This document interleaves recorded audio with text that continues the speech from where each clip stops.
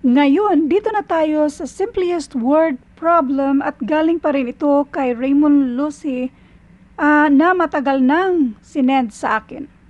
Pero bago ang lahat, let's randomly shout out the following. Si PJ Simon. Thank you so much, ma'am. Sobrang malaking tulong to, especially for me taking APSAT exam.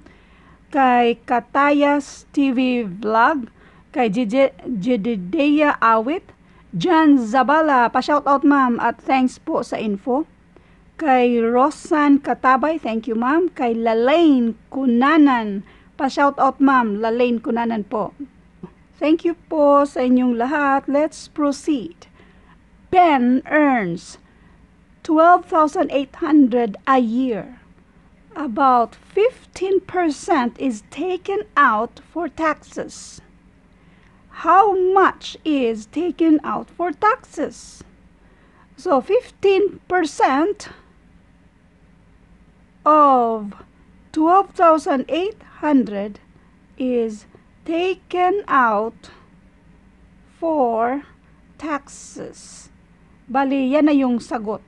Anong yan ang sagot ni? Revise natin yung sentence ba? Kasi yung uh, mismong tanong dito is, how much is taken out for taxes? Di ba ang sabi niya, 15% is taken out. 15% of 12,800. So, si 15%, ang decimal form niyan ay 1, 2. Nandito yung decimal, before sa 1, wala na yung uh, percent sign. Ang of multiplication, kopyahin ito 12,800. Ang is equals yan, kaya yan na yung sagot. Pwede na natin siyang i-multiply. I-multiply natin dito banda, 12,800. Itong dalawang zero mamaya na yan. So, i-multiply natin ng 15. Nandito si decimal. So, this is 40 carry 4. This is 10 plus 4, 14 carry 1, and this is 6. Tapos, 8, 2, 1, i-add yan lahat. This is 0. 12 carry 1, 9, 1. Ang dalawang 0 na yan, i-bring down mo. 1, 2. 1, 2. So, ang sagot dito ay 1,920. 1,920. Pansinin nyo ito para makuha nyo yung shortcut sa pag-multiply.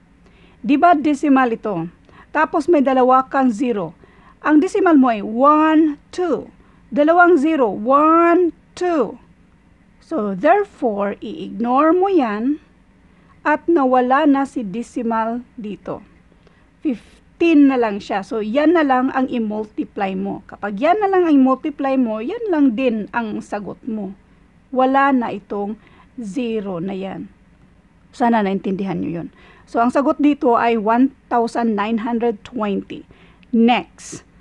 At a sale, shirts were sold for 150 each. This price was 80% of the original price. What was the original price? Maraming nagkakamali dito. Or sabihin na natin, maraming nalilito nito. Para mas madaling gawan ng equation, i-revise natin yung given. It is, di ba, yung 150 is 80%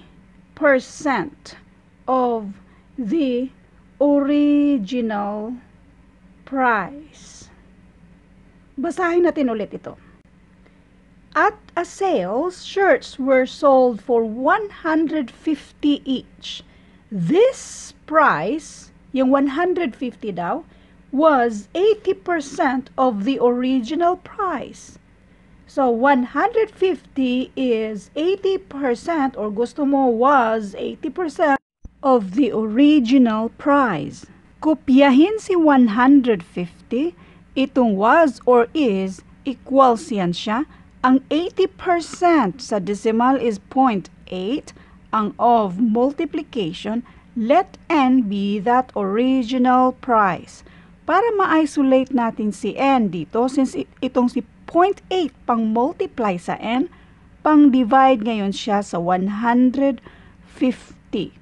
Isa-isahin natin ito sa pag-divide. 150 divided by 0.8. Again, itong decimal na ito, kasi yung divisor natin dapat gawin nating whole number.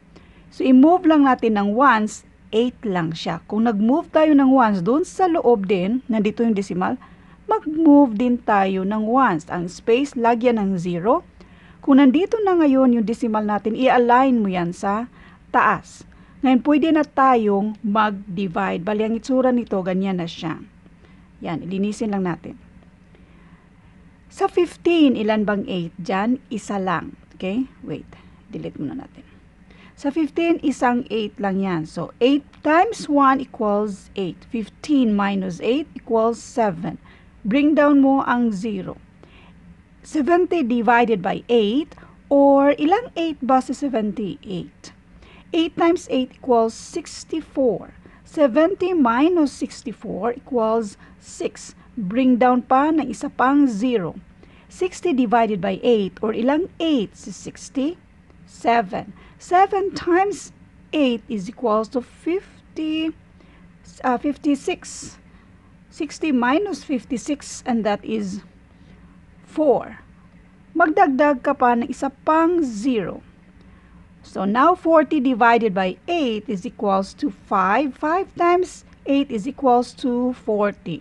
So ito na yung sagot. 100, ang original price natin ay 187.5. So sa tanong na what was the original price? It is 187 pesos and 50 centavos. Next, dito na tayo sa next na question na problem. Next na problem dito. There are 32 students in a class. Nine of those students are women. What percent are men? 32 minus 9, that is equals to 23. Therefore, itong 23, yan yung men. Ang question dito is, what percent are men? This is 23 divided by 32. So, isa-isahin natin itong 23 divided by 32. Ilang 32 ba sa si 23? Kulang. So, magdagdag ka ng isa pang 0. Pero bago ka magdagdag, maglagay ka na ng decimal na i-align mo sa taas.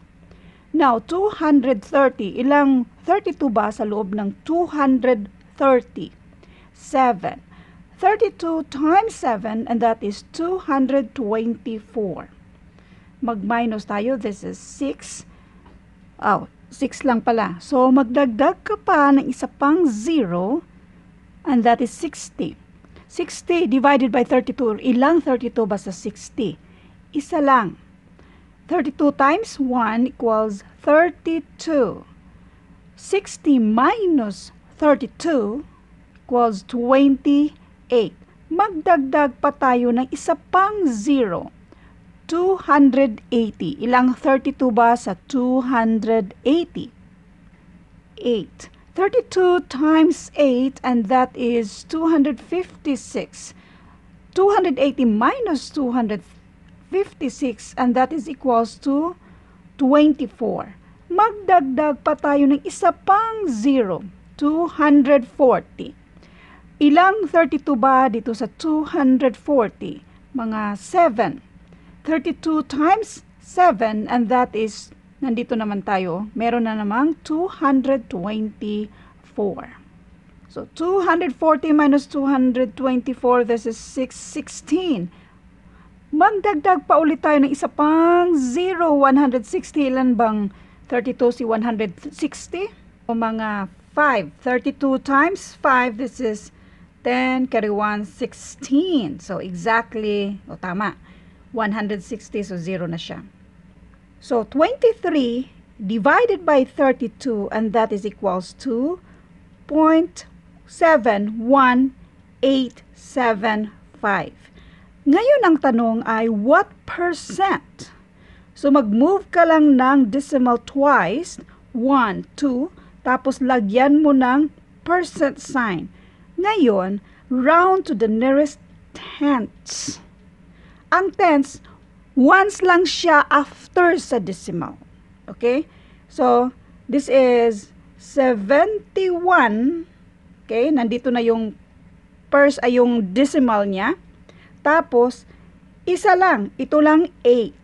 So, ngayon kung i-round off mo sa 8, tingnan mo yung nasa right side. 7 yan siya. So, round up tayo. So, ang sagot dito ay 71.9%. Kunting review lang sa place value. Although, meron na tayo na-upload nito, so ilalagay ko rin sa description ng video ito. Nandito yung decimal, yung mga whole numbers or yung whole part, ang first niyan ay ones, tens, hundreds, thousands, ten thousands, hundred thousands, isang set yan siya. Then, next ang millions. After dito sa right side, sa decimal point, mag-start yan ng tenths at may TH. Tenths, hundreds, may TH. Thousands, may TH. Next, ten thousands, TH pa rin. Hundred thousands, lahat yan may TH. After nitong decimal point. Ito ang wag niyong kalimutan ha dito sa whole part, once ang nauna after sa decimal point. Sa decimal part naman, tens ang nauna. At lahat dito ay may TH. Now, abangan sa next na video, we will talk about ratio and proportion. Thank you.